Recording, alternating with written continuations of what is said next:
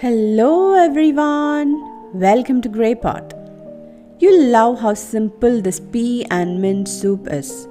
Fresh peas and garden mint are match made in heaven since they both are sweet, energizing, and cooling. If you can't find fresh peas, feel free to use frozen green peas.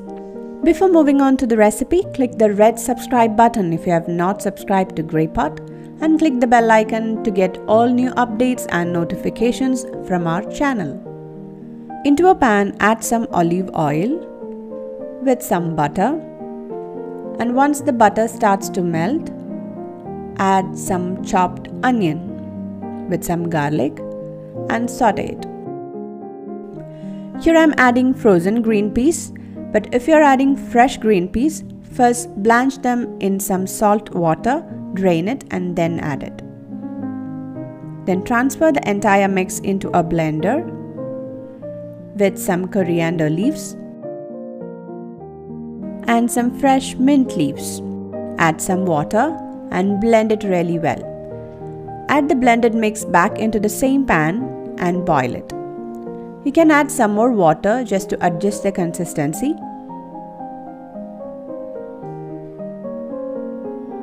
Now let's add the seasoning like salt and some pepper powder. Mix it and boil it. Add some fresh cream and mix it. After a good boil, our soup is ready. You can serve it with some olive oil fresh cream, and a touch of mint. A delicious green pea soup with mint is ready.